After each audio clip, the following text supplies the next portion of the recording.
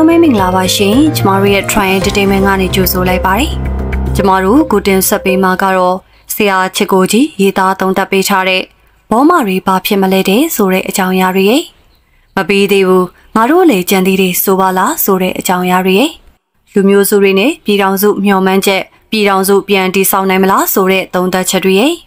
DNA နဲ့ MNDA တို့ကိုတရုတ်ကဖိအားပေးထားတဲ့အထက်မှာ အန်ယူဂျီ PDF တွေနဲ့ထိတွေ့ဆက်ဆံမှုမလုပ်ဖို့ဆိုတဲ့တစ်ချက်ပါဝင်ခဲ့တဲ့အပေါ်မှာသုံးသပ်ချက်တွေရဲ့ဆရာစောရဲမှုရေးသားသုံးသပ်ပေးထားတဲ့ခွေးသေးသေးတော်မဲ့စစ်တပ်ဆိုတဲ့အကြောင်းအရာတွေရဲ့တော်လန်ပြည်သူများသိရှိထားတဲ့စစ်တပ်လေးချောင်းရန်ဘလို့ကာကွယ်ကြမလဲဆိုတဲ့အကြောင်းအရာတွေရဲ့ဆရာလာဆိုဝေးရေးသားသုံးသပ်ပေးထားတဲ့မန္တလေးသူ UTV ဆိုတဲ့သုံးသပ်ချက်ဆောင်းပါးရဲ့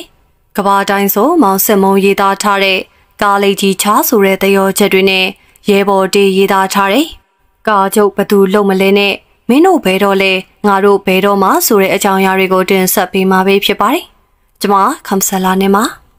ဘောမာရီဘာဖြစ်မလဲတဲ့။မာလာစစ်တပ်ကိုထောက်ခံကြတဲ့ဘောမာရီဟာမဲစင်12တန်းကျော်မှလို့ချီဦးနဲ့အညီအာနာထိန်နေဆိုတော့လေယုံခဲ့ကြတယ်။ NLD အစိုးရထက်သူ့ရဲ့လက်ထက်မှာနိုင်ငံခြားယင်းနှမြုံနှံမှုတွေပိုပြီးတိုးတက်လာတယ်လို့ပြောတော့လေအဟုတ်ထင်မြန်တာပဲ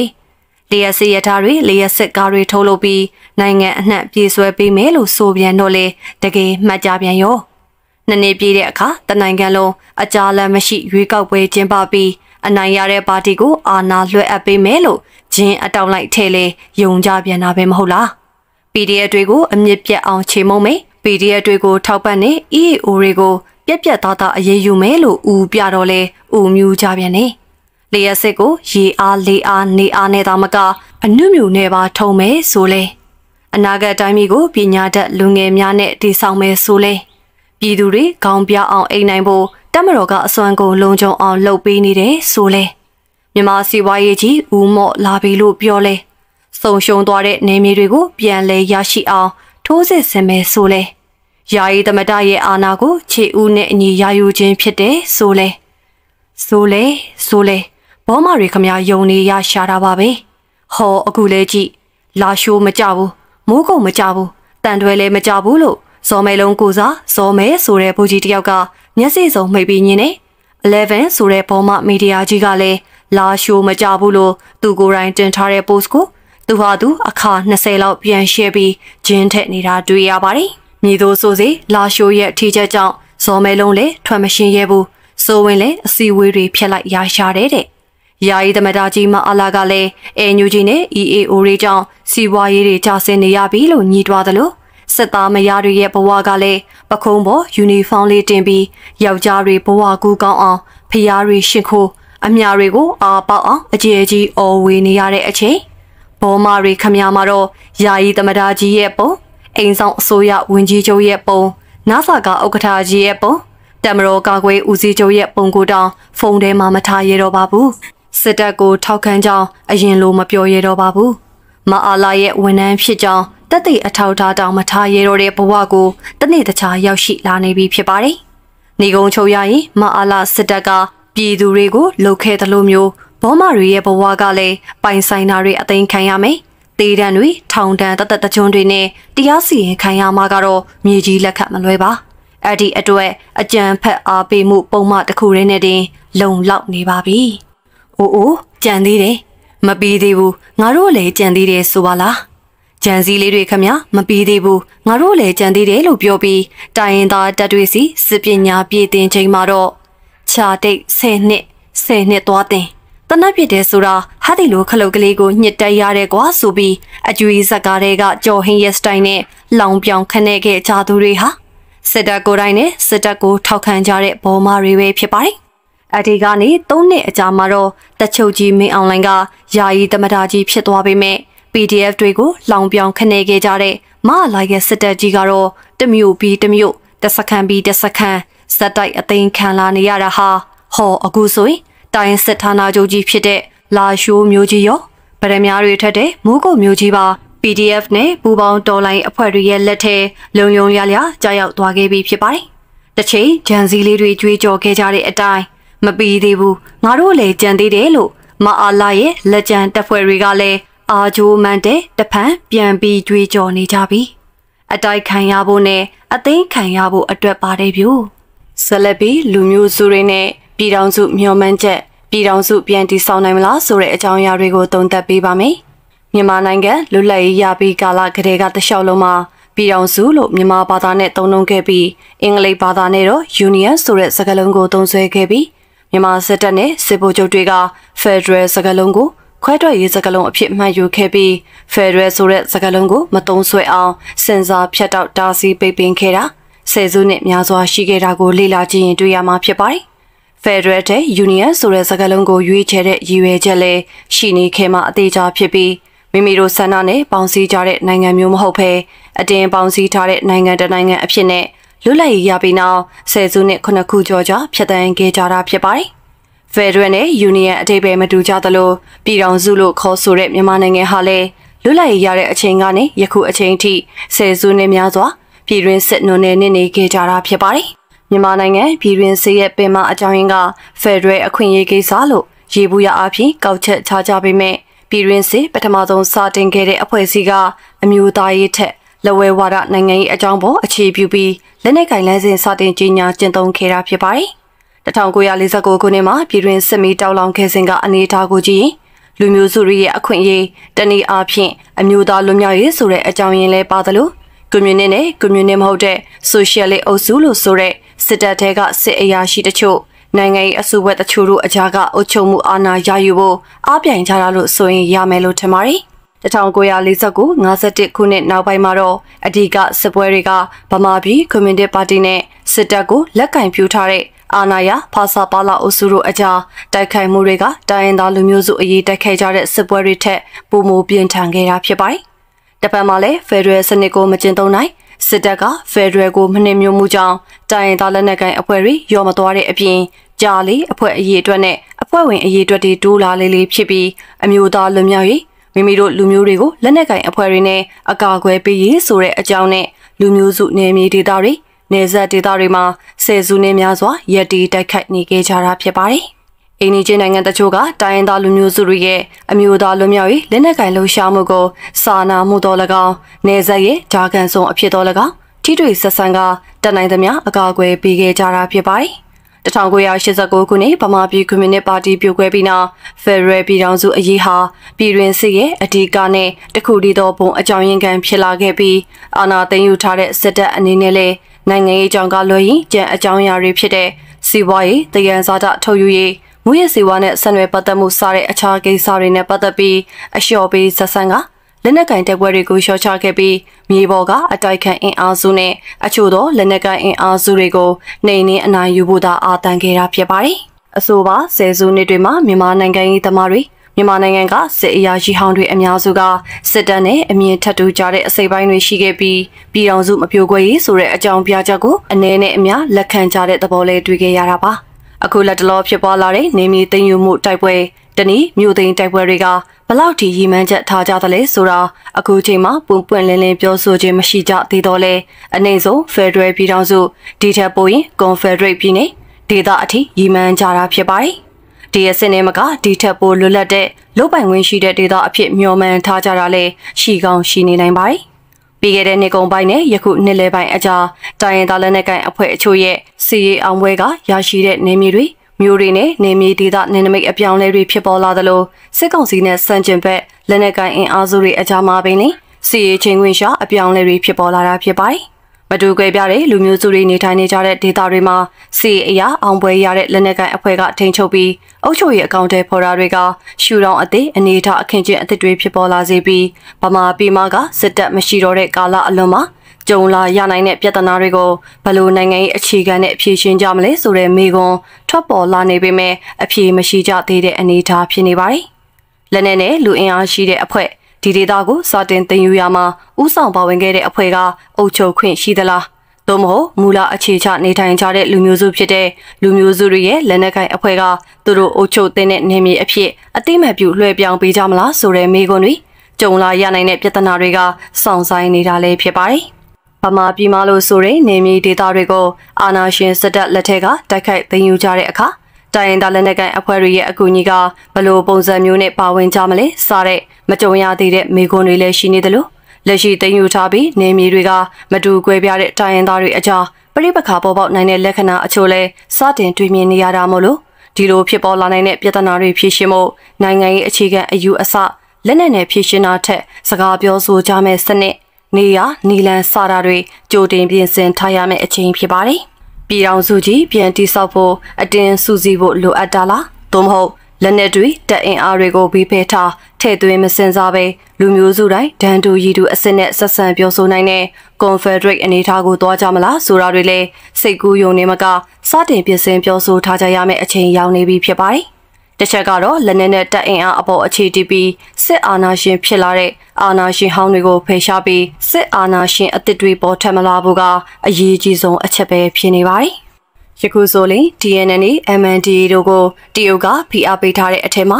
NUG PDF တွေနဲ့ထိတွေ့ဆက်ဆံမှုမလုပ်ဘူးဆိုတဲ့တစ်ချက်ပါဝင်ပါတယ်။အဒီအပေါ် DNN ကတော့ရှင်းနေ ဂရုကိုမဆိုင်တော့တဲ့ပုံစံနဲ့တေတုံညာနဲ့ကုံစစ်စင်ဒုတိယလိုင်းကိုရှမ်မန်စစ်စင်ဆိုပြီး NUG PDF ကိုပေါ်တင်ပွဲထုတ်ပါတယ်။ရက်ချင်တိုင်းရရအောင်ဘောလုံးကန်နေရလည်းမဟုတ်နားကျင်တိုင်းနားရအောင်လက်ဝိထိုးနေတာလည်းမဟုတ်လို့ပေါ်တင်ဖြဲခဲ့ပါသေးတယ်။ MND ကတော့တရုတ်ဖိအားကိုနည်းနည်းအလေးထားပုံပြပေးမယ်သူလည်းလှုပ်ချင်တာအကုန်လုပ်နေပါတယ်။လာရှိုးတိုက်တဲ့အချိန် BPLA, PLA, KMDF တို့ပါဝင်နေ PDF တွေလည်းတည်င်းမထုတ်ပေမဲ့ပါဝင်နေနိုင်ပါတယ်။ MND ကတော့ရှင်းနေစာတော့ထုတ်ပေးလိုက်တယ်အောက်ခြေမှာတော့ခုခံစစ်ကြောင်းတိုက်ရပါတယ်ဆိုပြီးလာရှိုးတစ်မျိုးလုံးကိုတင်ယူလိုက်ပါတယ်ဘာကိုပြောချင်တာလဲဆိုရင်သုံးချက်ကိုပြောလိုတာဖြစ်တယ်ရှမ်းမြောက် ERO ရင်းနဲ့ NUG ကြားမှာခိုင်မာတဲ့မဟာမိတ်စီးသဘောတူညီချက်ရှိထားပြီးသားဖြစ်တာကိုမြင်နိုင်ပါတယ်နောက်တစ်ချက်ကစစ်ကောင်စီဟာရုရှားလည်းမကဲနိုင်တရုတ်ကလည်းလက်မကြည့်တော့တဲ့တောင်ပြင်မှာလွတ်တဲ့ဘာဆိုလာဖြစ်နေပြီနောက်ဆုံးတစ်ချက်ကတော့တ ရုတ်ရဲ့နိုင်ငံရေးဖိအားရှိလာရင်တောင်မှ EAO တွေဟာဒီအရာပေါ်မှာကြော်လွှားဖို့အတွက်ပြင်ဆင်ထားတဲ့ view အားကြစီရေးရှိပြီးသားဖြစ်ပါတယ်။ဒါကြောင့်ပဲဆရာစောအဲမှုကခွေးတည်သေးတော့မဲ့စစ်တပ်ဆိုပြီးအခုလိုမျှဝေလာခဲ့တာပဲဖြစ်ပါတယ်။စစ်တပ်ကဒီနေ့ဒီလိုအခြေအနေမျိုးနဲ့ကြုံရဖို့ကနှစ်အပိုင်းချာနည်းနည်းလောက်မှားခဲ့မှဖြစ်တာမျိုးမဟုတ်ဘူး။နှစ်ကာလအကြာကြီးကိုခဏခဏမှားခဲ့မှထက်ကတလဲလဲအမားပေါ်အမားဆက်မှကြုံရတာမျိုး။ စစ်တပ်ဟာသူနဲ့ဘာမှမဆိုင်တဲ့ state ရဲ့တာဝန်တွေကိုသူတို့ရဲ့ကြောက်စိတ်အလိုလောဘစိတ်တွေကြောင့်ဆယ်စုနှစ်နဲ့ချီပြီးဝင်ရှုပ်ခဲ့တာဖြစ်တယ်။ဝင်ရှုပ်လို့တိုင်းပြည်ကကောင်းသွားသလားဆိုတော့တိုင်းပြည်လည်းချွချုံကြစစ်တပ်ရောကောင်းသွားသလားဆိုတော့စစ်တပ်လည်းရိုင်းနဲ့ပျက်စီးဘာတခုမှအကောင်ဖြစ်မလာဘူး။နေဝင်တန်ရွှေမင်းအောင်လိုက်ဟာတမိုင်းရဲ့ထက်ခါတလဲလဲတရခံတွေပဲဖြစ်တယ်။အဲ့ဒီအစိုးကြော့တန်တရားတွေကနေ အတန်နိုင်ဆုံး AC တည်ငြိမ်တဲ့နေနဲ့ဆွဲထုတ်ဖို့ကြိုးစားနေတဲ့ဒေါအောင်ဆန်းစုကြည်ကိုပြန်ပြီးရန်လုပ်တယ်။စစ်တပ်ဟာထမင်းကျွေးတဲ့လက်ကိုပြန်ကိုက်တဲ့ခွေးထက်မိုက်ပါတယ်။အခုတော့စစ်တပ်ဟာကြံစစ်သားစောလူကိုပြောသလိုခွေးတွေဝက်သေးသေးရစ်ခဲ့ပြီးတော့ဆိုတဲ့ရလန်နဲ့ပဲရင်ဆိုင်နေရတော့တယ်။သူတို့လက်အောက်မှာနေနေရတော့လဲငရဲပြီးလွမြောက်ပြန်တော့လဲလေရင်နဲ့ဘုံကျဲခံရမယ့်ပြဿနာကလည်းရှိနေပြန်ပါတယ်။ BNN စပွဲရီရှိစဉ်က ဘီယက်ကောင်းတွေရဲ့လှုပ်ဆောင်မှုကတော့မြေအောက်လိုင်ကောင်းတွေပတ်လန်းတွေကိုနိုင်ငံရဲ့နေရာများစွာမှာဖန်တီးထားပြီးလေရင်လာချိန်မှာလူတွေအလုံးကိုရောင်ဖြောက်လိုက်ကြတာဖြစ်ပါတယ်။စောက်ထားပြီးသားအဆောင်အုံတွေကတော့ဘလို့မှမတက်တာလို့ပျက်စီးခဲ့ရပေမဲ့လူသားတွေရဲ့အသက်အန္တရာယ်တွေကိုအန္တရာယ်ကင်းစေခဲ့တာဖြစ်ပါတယ်။အိုးအိမ်တွေနဲ့စီစိန်တွေဆိုတာကတော့စစ်ကြီးဖြစ်နေချိန်မှာအသက်ထက်ပိုပြီးတော့တန်ဖိုးမရှိနိုင်တာကတကယ်ကြုံဆုံလိုက်ရပြီဆိုရင်သိနိုင်တာမျိုးဖြစ်ပါတယ်။ ကမ္ဘာနံပါတ်1စစ်အင်အားပိုင်ဆိုင်ထားတဲ့အမေရိကန်ဟာလေယာဉ်ပေါင်းစုံဘုံပေါင်းစုံနဲ့လက်နက်စမ်းများစွာကိုအသုံးပြုပြီးတက်ခတ်ခဲ့ပေမဲ့မြေပြင်ကိုမစိုးမိုးနိုင်တော့တဲ့အခါ BNN လိုနိုင်ငံငယ်ကလေးကနေရှုံးနေမှုများစွာကြောင့်စုခွာပေးခဲ့ရတာဖြစ်ပါတယ်။အမေရိကန်ဟာလေယာဉ်ကအစလက်နက်အစုံကိုသူကိုယ်တိုင်ထုတ်လုပ်သူဖြစ်ပြီးငွေကြေးကြွယ်ဝချမ်းသာမှုကလည်းကမ္ဘာနံပါတ်1အဆင့်ဝင်သူဖြစ်နေပေမဲ့လည်းစိတ်ဓာတ်ရေးရအရာကွာခြားမှုတွေရှိလာတာနဲ့အတူ BNN ရဲ့အသင်းအဖွဲ့ကိုတိုက်ခဲ့တာမဟုတ်ဘဲ BNN ပြည်သူတွေနဲ့ဖြစ်ခဲ့တာမို့ညီကုန်းမလာခဲ့ပါဘူး။နိုင်ငံတနိုင်ငံမှာပြည်သူနဲ့ဆန့်ကျင်ပြီးဖြစ်တဲ့စစ်ပွဲတွေဟာညီကုန်းမလာတတ်တာကနေရာမှာတည်းရဖြစ်ပါတယ်။လက်ရှိမြန်မာနိုင်ငံစစ်ပွဲဟာပြည်သူအများစုနဲ့စစ်လက်နက်ကိုင်အဖွဲ့ရဲ့ထိတ်တိုက်ရင်ဆိုင်တဲ့စစ်ပွဲဖြစ်ပါတယ်။စီအိုစုဟာစစ်လက်နက်အငယ်စားလောက်သာပြုလုပ်နိုင်ပြီးအဓိကအဆုံးဖြတ်ပေးနိုင်လောက်တဲ့လက်နက်ကိုနိုင်ငံရခြားကမာယူနေရသလိုလက်ရှိအခြေအနေတွေအရအာသာမှုရယူထားတဲ့ လေရင်နဲ့လေရင်စီလေရင်ရဲ့အပိုပစ္စည်းတွေဟာနိုင်ငံခြားငွေကြေးနဲ့တဆင့်ခံဝယ်ယူနေရပြီးဝယ်ယူနေမှုတွေကိုငွေပေးချေတဲ့အခါမှာတောင်ခိုးကြောင်ခိုးဝဲလူမသိအောင်လုပ်နေရပြီးဆက်လက်ဝယ်ယူဖို့လက်ကျန်နိုင်ငံခြားငွေကြေးကလုံပါပါနေပါပြီစစ်လက်နဲ့ကိုယ်တိုင်ထုတ်ပြီးကမ္ဘာအချမ်းသာဆုံးနိုင်ငံဟာလေယာဉ်မျိုးစုံနဲ့ဘုံမိုးရွာခဲ့တာတောင်ပြည်သူနဲ့ထိတ်တိုက်တွေ့ရင်မနိုင်ပါဘူးဆိုတာတာတကအကြီးကြီးရှိနေပြီးသားဖြစ်ပါတယ်။အခုချိန်မှာတနိုင်ငံလုံးနေရာများစွာကို မြေပြင်စစ်ပွဲမဆင်နွှဲနိုင်တော့တာကြောင့်အာကိုအားထားပြုစရာလေကြောင်းတစ်ခုသာရှိနေတော့တဲ့စစ်အုပ်စုဟာလေရင်စီတွေနဲ့စီဘိုကုန်ချောင်းငွေတွေမနာတမ်းပြန်တန်းနေရတဲ့လေရင်တွေရဲ့ပစ္စည်းချိုးရင်းလာတဲ့စက်ပစ္စည်းတွေနဲ့ပြန်လဲပြုပြင်ရမယ်စက်ပစ္စည်းဘိုးတွေဆုံရှုံပြီးပြီးခဲ့ရတဲ့ဆက်လက်နက်တွေအစားပြန်လဲဖြည့်ဆည်းဖို့ဝယ်ယူရမယ့်ကုန်ချောင်းငွေများစွာကိုဘယ်အချိန်ထိဘလောက်အတိုင်းအတာအထိရှေ့ဆက်နိုင်ပါအောင်မလဲဆိုတာမကြခင်တည်တာလာနိုင်တော့မှဖြစ်ပါတယ် အကြီးကျယ်အံ့အားသင့်မိတာကတိုင်းပြည်နယ်ပြည်သူကိုကာကွယ်ပါမယ်လို့တစ္ဆာဆိုထားပါတယ်ဆိုတဲ့စစ်တပ်ကြီးတစ်ခုလုံးမှာတစ္ဆာစကားအတိုင်းတည်တဲ့ပြည်သူကိုကာကွယ်တဲ့စစ်သားဆိုတာဗတ်ပြောင်းအနေငယ်ကလွှဲရင်ရှာလို့မတွေ့အောင်ရှာပါနေတာဖြစ်ပါတယ်။ဖြစ်ကားစားမှုမတိတာသေးရင်တောင်လေးနှစ်ဆိုတဲ့အတိုင်းတာကြီးဟာရာသီလေးကပြောင်းပြီးစဖြစ်တဲ့အချိန်မှမွေးဖွားခဲ့ရင်တောင်လန်ဆလျှောက်ပြီးစကားတင်တဲ့အရွယ်ရောက်ပါပြီ။ဒါကြောင့်ဒီလူတွေရဲ့အတိတရားကိုမျှော်မိရင် မိုးကြိုးကိုမျှော်မိသလိုသာဖြစ်မှာပါ။ဒါတွေကိုမြင်သိရတဲ့အခါစစ်တပ်နန်းကျောင်းတွေမှာတင်ကြားမှုတွေဟာစာတွေကစာရီတသက်ဖြစ်ပြီးတင်နန်းစင်ပီတာနဲ့လက်တွေ့နေပယ်မှာတော့စစ်ပညာထက်ငွေရှာတဲ့ပညာကိုသာအဓိကထားပြီးယူနီဖောင်းဝတ်လိုက်တာနဲ့ပြင်ပကဘာကလူအားလုံးဟာငါတို့ပြုသမျှနူရမဲ့သူများသားလို့အထင်ရောက်စေတဲ့နောင်တော်ကြီးများရဲ့လမ်းစဉ်ကိုနောက်ထပ်ထွက်ပေါ်လာတဲ့သူများကလည်းအစဉ်အတိုင်းရှောက်လန်းကြတာမို့တကယ်လို့များစစ်အုပ်စုထဲမှာ လူကောင်းရှာနေမိရင်ကို့အတွေးတွေကိုအမြန်ဆုံးရုပ်သိမ်းဖို့လိုနေတာပါ။တချို့တွေကတော့အိမ်ပြန်ခြင်းကိုပိုင်ဆိုင်နေကြပေမဲ့အပိသက်ခြင်းကိုမရောက်သေးတာမို့ BNN ရဲ့ထုံကိုနှလုံးမူပြီးမြေတွင်အောင်မှုကြိုးစားကြရအောင်မှာဖြစ်ပါတယ်။ဘလောက်အထိကျဲနိုင်မလဲဘလောက်ဒီအကုန်ခံနိုင်အောင်မလဲဆိုတာကကာလအပိုင်းခြားတစ်ခုရှိလာမှမို့ကိုအရေးသားတဲ့မြေပြင်မာများမင်းတို့ကိုတွေးခဲ့ရင်တော့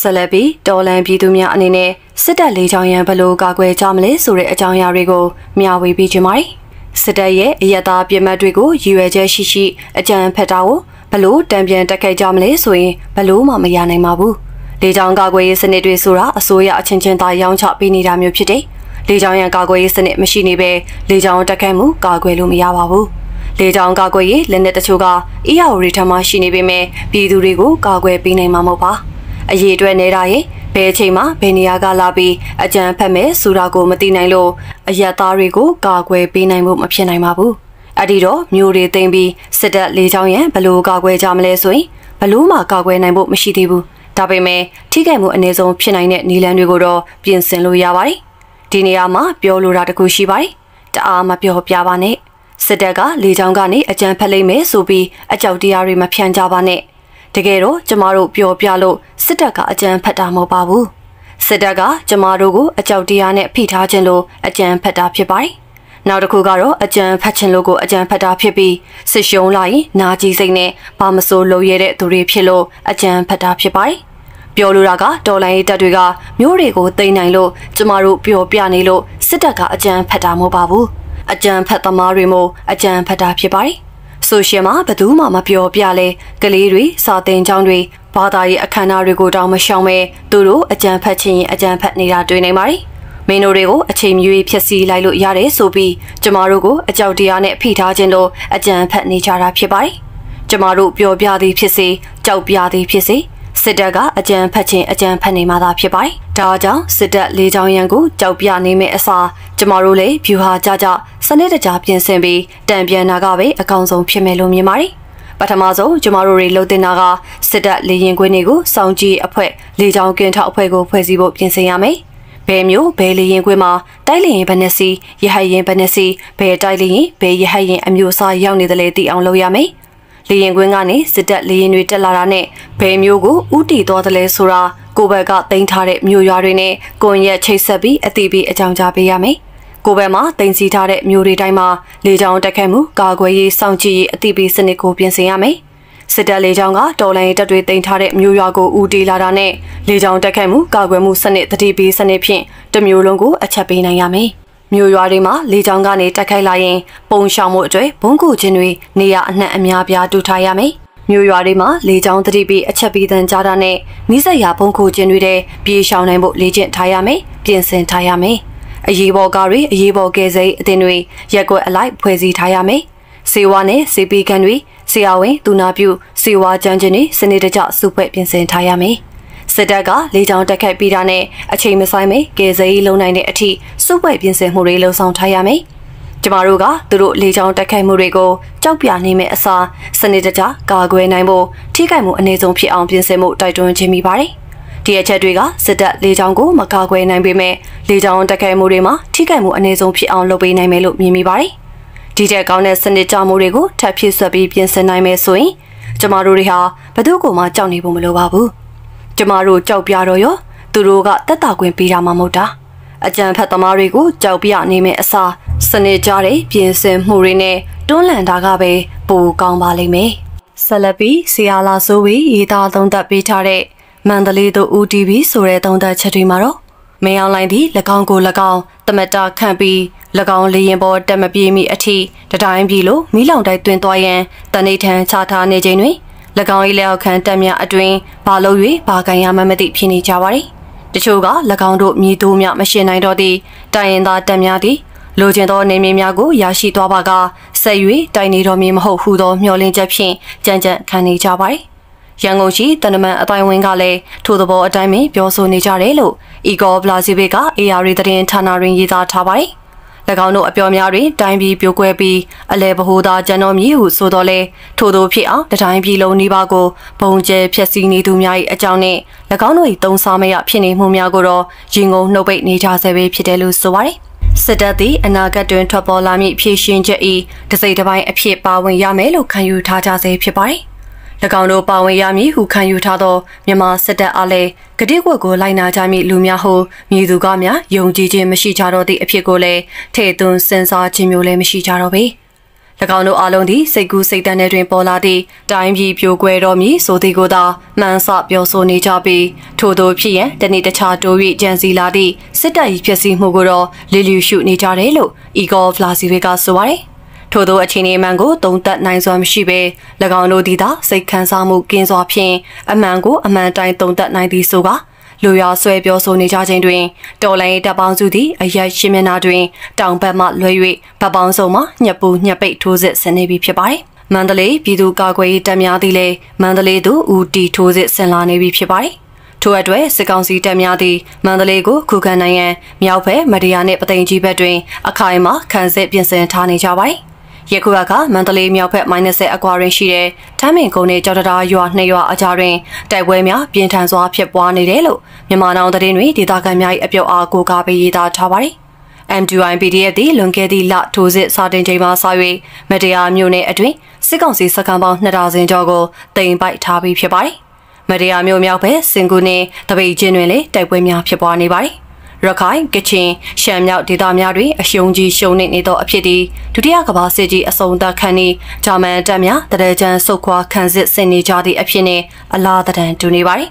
ပြည်သူ့ချဗကြိုကြီးမောင်ကိုမော်ရီ၏အမတ်ရှိတက်တော်သည်1940နှစ်အောက်တိုဘာ23နှစ် El Alamein ဒေတာအားစနေရကြားထိုးစစ်ဆင်ပြီးဂျာမန်တို့လည်းမှပထမဆုံးအကြိမ်အောင်မြင်စွာပြန်သိမ်းနိုင်ခဲ့ခြင်းသည်ဟစ်တလာ၏ညီကုန်းအစဖြစ်လာရပါတယ်။ မြန်မာစစ်ဗိုလ်ချုပ်များကတော့၎င်းတို့ကိုယ်တိုင်ဦးဆောင်နိုင်စွာမရှိသူများဖြစ်၍ရတရားသာအာကိုနေသည့်မင်းအွန်လိုင်းနောက်မှာမေးလိုက်နေကြပါတယ်။သို့သောအခြေအနေများစိုးသည့်ထက်ဆိုးလာလင်းတော့၎င်းတို့ထွက်ပေါက်အတွက်မင်းအွန်လိုင်းကိုဖေရှားကြတော့မိသားဖြစ်ပါတယ်။လာရှိုးတွင်မြို့တော်ခမ်းမတစ်ခုရီသာခြေကုပ်ယူနိုင်သောသည့်စစ်ကောင်စီမှလာရှိုးကိုထိန်းချုပ်ထားစေဟုဝါဒဖြန့်နေတော့လေ၎င်းတို့၏တစ္ဆာကံဝန်ထမ်းများကိုတောင်ကြီးသို့ရွှေ့ရန်ညွှန်ကြားပေးဖြစ်တယ်လို့ဆိုပါတယ်။ လာရှိုးနေပတ်သက်၍မင်းအောင်လှိုင်အုပ်ချုပ်နေမှုကိုနှိချိုက်သဘောကျသူတိုင်းဆီယာသမားဇော်မင်းထွန်းထက်လက်ဆောင်ထက်လာသည့်ဇော်မင်းအပြောကြောင့်အာတက်ကုန်ကြမည်ဖြစ်ပါတယ်။ MNDA အကြံဖက်အဖွဲ့သည်လာရှိုးမျိုးတွင်သို့အယက်သားများအသွင်ယူ၍စိတ်ဝင်ထိုးပေါက်လာသဖြင့်တက်မတော်မှလိုက်လံရှင်းလင်းနေရသည်ဟု၍ဖြစ်သည်။ရခိုင်စစ်မျက်နှာတွင်တန်တွဲမှကွာသို့ဆုတ်ခွာလာသော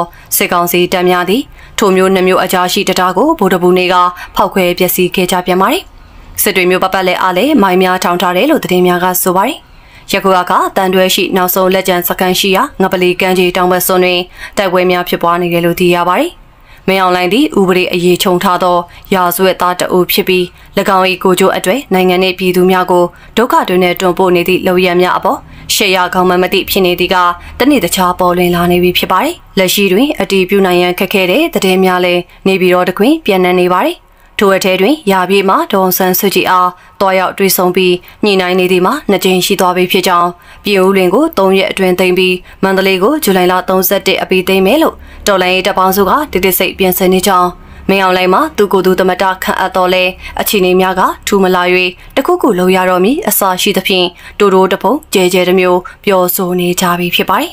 ဆလဘီကဘာတိုင်းဆိုမောင်စမုံရေးသားထားတဲ့ကားလေးကြီးချဆိုတဲ့အကြောင်းအရာတွေကိုလည်းမျှဝေပေးကြပါမယ်။ social punishment ဆိုသည့်အတိုင်း social media မှာပါအကောင့်ဖွင့်မရတဲ့ trauma ကိုဘယ်သူစာနာနားလည်နိုင်မှာလဲ။သူတကားတွေ morning hello hi လုပ်နေချိန်မှာကိုမရောင်တောင်တောင်နဲ့လမ်းထားလျှောက်တော့လှမ်းအောင်နဲ့ခွေကိုသာလက်ပြခဲ့ရ။မဲဆောက်မှာမဟာတရားပြည်ရတဲ့မင်းသမီးကလေးကိုအားပေးချင်တာတို့နေပြီးတော့မှလေးဖြူကိုပေးကူချင်တာတို့ထူးကန်ကျော်စိတ်ကူဝိုင်းကိုဝိုင်းရှယ်ပေးချင်တာတို့ရထနန္ဒကားကလေးအသားကလေးနည်းနည်းလက်လာပြီလို့တင်ချင်တာတို့ အသီလိုဘာမှကိုမပါရတဲ့ကံကြမ္မာစင်ရဲကိုဒီဆိုရှယ်ဒွန်ဒီယာမှာဘလူလူကတင်ခံနိုင်ပါလေကဘာအရေးဆိုလေတရုတ်အပြောက်တာကနေဖက်တီးဆိုချီတို့ပြစ်တာအလေထရန်တနတ်မနာအစောဘာအကြောင်းမှဝင်ငံလို့မရငံကျင်လို့လို့မှငံပြရေးလုပ်ငန်းနဲ့စားလုပ်ငန်းတစ်ခုလုံးဥပိုင်စီထားယုံအားမရလို့နိုင်ငံတော်အာဏာပါသိမ်းပြီးနိုင်ငံရေးတစ်ခုလုံးပြန်ပေးဆွဲမဒိန်ချင်းအတင်စွပေါင်တင်ထားတာလေကွာ။ ဗီကီကြတော့လေအညီတွေပဲရှိတာဆိုတော့ဆိုရှယ်တန်းမစိဘိုးလိုတွေ့နိုင်မှာတွေ့ရဝင်တဲ့ Twitter ကြပြန်တော့လေလူစင်ကမှတ်မိတပည့်ကျော် American Great အကိန်းလောက်တောင်မဟိနိုင်ကိုပါသာ social စင်တစ်ခုစောက်ပြန်တော့လေ Play Store ကနေခွေတကူမောင်းထုတ်တယ်လို့မောင်းချခံရပန်ဒီ Store ကနေပန်ပြီးရိုးခံရနဲ့ဆိုတဲ့ဘဝ TikTok ကျင်လို့ဖင်ခါကျင်တော်လဲဖင်ရမဝီဖင်ရန်ပုံကခွေတကူအမီနန္တာလောက်မှအထာမကြလို့တဲ့ အလိုက်မှနာမည်တွင်တာပဲအဖက်တင်ဟာဟာတွေအပုံအပင်နဲ့ကရုံကရင်ပြန်ခဲ့ရငါမှဖေမေမကြောက်ရပဲဆူရှယ်ကမရှိအေးအေးကြောက်ရတယ်ကိုရှယ်လည်းမရှိတော့ဂလိုဘယ်ဖို့ဝေးလိုကေတောင်ငင်းနေရတဲ့သူသူများတွေအကောင့်3လေးခုနဲ့ဆိုရှယ်မီဒီယာ3လေးခုမှညှိနေတာကိုတုံးလေးခုကကြည်နေရတဲ့ဘဝထက်ခါတာရှိသေးလားငါတဲ့အများတကာဟာတာရှိအောင်မလား ဖဲဝိုင်းမှာမိုးလင်းထိမဝင်ရပဲဘေးပေါက်ပဲထိုင်ရိုက်ပြီးကိုပေါက်တဲ့အိမ်အညောင်ဆန့်သေးထားပေါက်မှာဖဲကန်ခွင်ရတဲ့ဘဝလိုခေါ်တဲ့နေအကောင်ဘေးမှာဘာလေးတင်မလားဘလို့ပြန်မှန်းဆိုပြီးဆိုရှယ်နဲ့တိုက်ရှူနေရတဲ့ဘဝလေးပြီးတော့ငါကဘယင်းလေးကွာငါကဓာတ်တိုင်သေးပန်းလားတထောင်စားလားအဖေမပေါ်လားအင်ကိုလီမာလာနဲ့စိန်နမာနတုပ်ဘူးကရလာတဲ့ဖန်ပြွန်တရေသားလားပြောကြလေကွာအဲ့ဒီတော့ဆိုရှယ်မီဒီယာကိုငါပိတ်တယ်လေ အဲ့ဒါကိုမင်းတို့က VPN နဲ့ဟာဟာလုပ်တယ်ဘယ်မလဲကိုချင်းစာတရားငါမှားလားအဲ့ဒါလို့ VPN အာကိုနဲ့ငါကို throw ကြတော့ငါက line မှာပိတ်ပစ်လိုက်ရောမှတ်ပလားအဲ့ဒါမှမင်းတို့က Starlink နဲ့တိမ်တွေပေါ်မှာလွှင့်နေတယ်လေငါလေးဆိုပြီးစောက်ခွဲလာပြောင်းနေတီမဲတီမဲမင်းတို့ကောင်းနေအကုန်သိစေရမယ်အေးငါပဲလုံးလို့ရပြီမင်းတို့ဘာမှမတက်နိုင်တဲ့အလုပ်ကိုငါလုပ်ပြီဆက်ကြစမ်းမင်းတို့အကောင့်၃လေးခုရှိတယ်လို့ငါလဲ၄ခုခွဲပြီ ဖျားလိုမျိုးငါတကိုးနဲ့ရုပ်ပွားတွေဖန်ဆင်းပြီးဘိုးချုပ်မူကြီးမင်းအောင်လိုင်းကနေတရေချိုးတင်အောင်ခိုင်ကိုနာဆာကဥက္ကဋ္ဌခန့်နေကွာဘသူပါတတ်နိုင်သေးလဲနာဆာကဥက္ကဋ္ဌတရေချိုးတင်အောင်ခိုင်ကနေကျင်ဆိုကိုဝင်ကြီးချုပ်ခန့်နေကွာကဲဘသူဘန်းနိုင်သေးလဲအေးအဒီဘိုးချုပ်မူကြီးမင်းအောင်လိုင်းရဲ့တရေချိုးတင်းအောင်ကိုင်နာဆာကဥက္ကဋ္ဌရဲ့ဝင်းကြီးချုပ်ကျင်ဆိုရဲ့ပေါင်းပြီးပလင်တခုကိုယာယီသမတခန့်နေကွာပြောကြအောင်လေကွာ ပလင်းတစ်ခုကဆလွယ်ကြီးနဲ့ရင်ပုံးနဲ့ထမန်သိန်းနဲ့ပလင်းဘော်ကနေအမိန်တော်မှတ်လိုက်ကားလိတ်ကြီးချတခန်းရက်အဲ့ဒါကိုတရေကျိုးတင်းအောင်ကန်ကတိုက်ပုံပစိုးနဲ့ပြန်လဲလျှောက်တီကားလိတ်ချတခန်းရက်ဘောင်မင်းနဲ့ရှက်အင်ဂျီဝစ်ဝင်ကြီးကျုပ်ကျင်ဆိုကလိုက်မှတ်ကားလိတ်ချတခန်းရက်ကျင်ဆိုကဗိုလ်ချုပ်မူကြီးမင်းအွန်လိုင်းကိုထပ်ဆင့်ညွှန်ကြားကားလိတ်ချတခန်းရက်ကားချုပ်ကဘုံကျဲတက်လက်နဲ့ကြီးထုဖြိုစစ်ကြောင်းထိုးမီးရှို့တိုင်းပြီးဖြတ်ခိုင်းကားလိတ်ချတခန်းရက် အဲ့ဒါကိုတရေကျိုးကိုကွင်းနဲ့နောက်လိုက်များကအကောင့်ထဲပေါ်ဆောင်ရွက်ပြည်ဖြက်ခန်းပြီးကားလေကြီးချမြမတမတော်ဇက်သိန်းဟာဟာကြအောင်လေကွာဆက်လက်ပြီးရဲဘော်တီရေးသားထားတဲ့ကာကျုပ်ဘသူလုံမလဲနဲ့မင်းတို့ဘယ်တော့လဲငါတို့ဘယ်တော့မှဆိုတဲ့အကြောင်းအရာတွေကိုမျှဝေပေးပါမယ်တမတားလို့ရင်နိုင်ငံဝန်ထမ်းတယောက်ယောက်ဖြစ်မနေရဘူးဆိုတော့ကျင်ဆိုးခမငါကြီးကြနေတော့ဝတ်သားတော်ကြီးဆိုပြီးအားရပါရကြိုက်လိုက်တာ အခုမှမိဖို့ဘောကခြားထားစားဆိုတော့မမျိုးသားမထွေးနိုင်ဖြစ်နေချက်များသူ့စောက်ခွက်ကိုစဉ်းစားသာကြည့်ကိုကွင်းရဲ့ထိုးသွင်းပုံကဆိုလင်ဦးပင်လက်တီးထက်လှပတရီကျိုးကောင်တမတယူမန်တီတော့မြင့်ဆွေမလုံနိုင်တာနဲ့အစင်ပြီးတက်ပေးလိုက်တာသွားလီရော့လဟဲပေါ်လေအခုဆိုတမတကဝင်းကြီးကျုပ်ထက်ကြည်နေတော့မအားလာခမဝင်းကြီးကျုပ်ယာတူလဲပြုတ်ရတော့မယ်ကာကျုပ်ယာတူလဲလွှဲရတော့မယ်ကာကျုပ်ယာတူလဲလွှဲရတော့မယ် မိုးလင်းနာနဲ့ဆိုဝင်းတို့ကဝင်းကြီးကျုပ်ရောကာကျုပ်ရောဖြစ်ပြီလေသူမှဘာအလုံးမှမရှိဧည့်သည်ထိုင်ဆောင်ယုံကလွဲလုံနိုင်တာလည်းရှိတော့မှာမဟုတ်အိမ်မသားတော့အဲကောင်လေးလာမှမဟုတ်ဒါကိုသိတဲ့မအားလာကလည်းသူ့တေရင်သူပြန်ဖို့တဲ့အနေနဲ့တမတာဆိုတာကားလုံးကိစ္စမှသာတမတာလုံးပါကျန်တာငကိုအတိုင်းပဲလို့သူငမဲကျုံကိုလိုင်းပေါ်တက်လော်ခိုင်းတော့ကာကျုံနဲ့ဝင်းကြီးကျုံမှန်ထားတဲ့ကောင်တွေကလည်းတင်းနေပြီ အခုဆိုရင်တက်အကြီးပိုင်းမှာဘယ်သူကကာကျုံလုံးမလဲဆိုတာပွဲဖြစ်တရုတ်နဲ့ဘလူးတွေတန်ရွှေတို့အဖွဲ့ကိုလည်းအကျဲကျုပ်ထားလိုက်ပြီးဆိုတော့ကိုကွင်းလူတွေကလည်းဘရာကျော်ကိုကွင်းဖျားလူတာဖုန်ကြီးစွမ်းလောင်းတာတရေကျိုးကိုကွင်းကိုကလေးတွေဝေတာတွေလုပ်နေကြပြီဆိုရင်နာတဲ့ကာကျုပ်တစ်ကိုကြိုးဖားတာလဲပါမှာပေါ့လေမာလာကောင်တွေကလည်းသူဖြစ်နိုးနိုးကိုဖြစ်နိုးနိုးမှန်ရှိသွားရက်ပြီးတချုပ်မိန်ကွန်းတောင်ကျင့်ထားကြသေးတာလို့သတင်းပေါက်တဲ့ကောင်ကပေါက်ထား လာရှိုမှာ318ယောက်နဲ့ဒူဘိုမူကြီးနဲ့ဘိုမူဘိုကြီးတွေဦးဆောင်ပတ်ပြောင်းပြီးမလာကိုပြန်တိုက်မဲ့တရင်ကြီးကတက်အလက်အလက်ကောင်းဆောင်ပိုင်းနဲ့အောက်ခြေပိုင်းမှာဂုံစားချက်မအားလာတမတာဖြစ်ပြီးရင်ကာကျုပ်ဘဲကောင်လုံမတောင်ဘသူမှစိတ်မဝင်စားကြတော့ဘူးစောက်ဘူးတမတာလှုပ်တဲ့ရဲ့စောက်ွက်ပြောင်းကွန်ပျူတာဆိုပြီးတောင်ပြောနေကြတာကိုတက်လေဘလို့လဲသူ့တက်လေဘလို့လဲပေါ့တယောက်ချီတယောက်ကြည်နေကြနောက်ကြတဲ့ခြေထောက်သစ္စာပေါက်ပဲလေ မင်းတို့ဘယ်တော့လဲငါတို့ဘယ်တော့မှပေါ့တမမှုတွေတိုင်မှုတွေလည်းခေါင်းချင်းနေရပြီကိုဦးဆောင်လိုက်မလားသူတို့သွားတာမသိအောင်ဆောင်လိုက်မလားတလားလာတော့လာရတော့မေးနောက်ကောင်တွေကသူ့တက်သူသိမ့်ပြီးပြည်သူနဲ့တခါတည်းတွဲလိုက်မဲ့ကောင်တွေလည်းရှိအဲ့ဒါဆိုကိုကအချောင်အေးယူခိုင်းရအောင်မေးမအလာအေးယူတာခံမလားပြည်သူချီမြောက်တာခံမလားစားနေရပြီလေမစားရင်ဘဝကခါတော့မှာရေချုပ်ကိုမျိုးတွေထူချေခိုင်းတာမလို့လို့ ရေတပ်သားတွေကုန်းပေါ်တက်သေးခိုင်းတာမလုပ်ပေးလို့ဖြုတ်လိုက်တဲ့ကိစ္စကိုလည်းရေတပ်ကမကြည့်နဲ့ကြလေကလည်းမျိုးချီရွာချီနဲ့ကလေးတက်တက်တက်တက်ဖြစ်လာတာကိုမကြည့်နဲ့ကြအလဲခံရတဲ့တိုင်မှုရဲ့တပည့်ရင်ချတွေကိုနောက်တိုင်မှုကကြက်လို့မကြည့်နဲ့ကြနောက်တိုင်မှုကသူရာတူတက်ချင်တာပြုတ်မာကြောက်တာနဲ့စွတ်အသေးခံခိုင်းနေလို့မကြည့်နဲ့ကြနဲ့တနက်ကိုစီရှိကြသည်ဆိုတော့ကမင်းအောင်လိုင်းဇက်တပင်ကြီးရဲ့အဖြူရောင်ရိမ့်နေ BC Street Show အစီအစဉ် မိုင်းအော်ပရာနဲ့ပြစ်တန်ခတ်တန်တညံညံပြဆက်ကြီးလဲပြီးပြီဆိုတော့နောက်ပိုင်းဇက်ထုံမှာငိုချင်းတွေဘလို့ချမလဲဆိုတာဆက်လက်ရှုစားကြပါစို့ရှင်